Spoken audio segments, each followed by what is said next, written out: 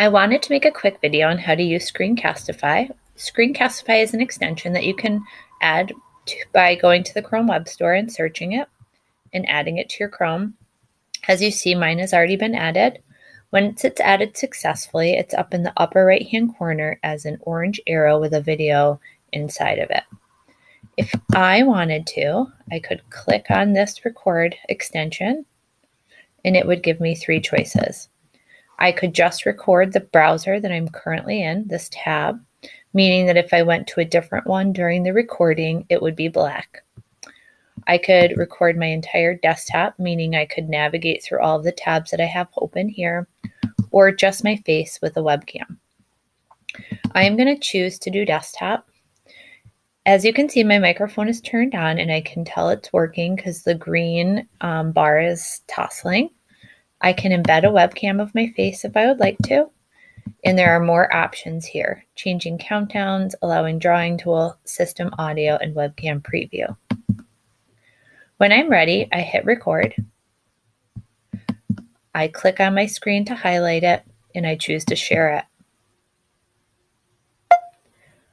I get a countdown and a toolbar appears over here.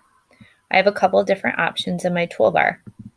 If I'm recording in Screencastify, I can hit pause if I want to stop and collect my thoughts, and then I can hit play when I'd like to record again.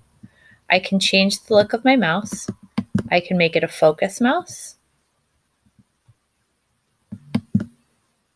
I could make it a no-show mouse, meaning that if I don't move it, the mouse will eventually disappear. Or I can make it a red circle upon my click. And every time I click my mouse, red appears. I also have annotation tools. I could choose the color I want, but then I can actually move and write here if I wanted to during my recording. There is an eraser that can erase anything that you don't want on there. And then when I feel like I'm done with my recording, I can come up here and click on the extension again and hit stop. I could make it a no-show mouse, meaning that if I don't move it, the mouse will eventually disappear.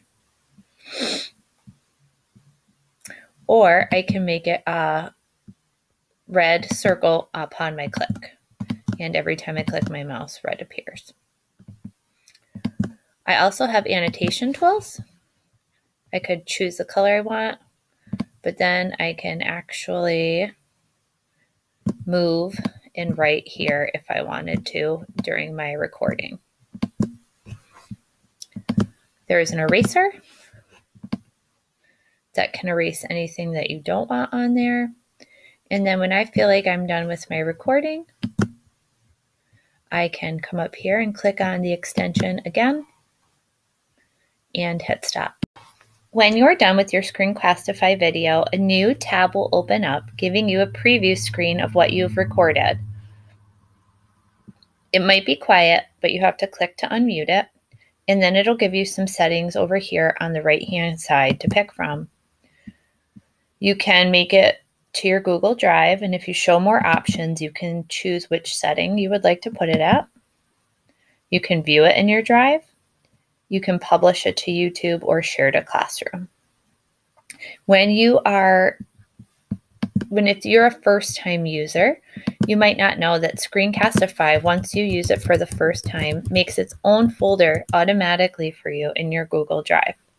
So you can click on it and see all of the folders all of the videos that you have recorded um, all at once.